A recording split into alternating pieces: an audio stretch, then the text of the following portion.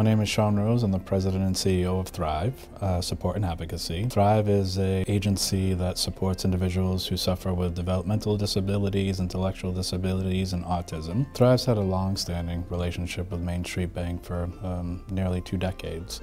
Um, the complexity of um, the uh, services that we require of a bank are, very unique. For us, uh, Main Street Bank has been there for us uh, in terrific customer service. In addition to that, Main Street Bank has been a massive uh, supporter of our individuals. They've been massive um, sponsors of all of our initiatives, whether it be a road race, a prom, or supporting us through the holidays. It's nice to be able to, you know, call Main Street Bank and not have to email back and forth and get a live person on the line. And we need somebody um, on the banking side who gets us. And for me, um, Main Street Bank is really the only choice.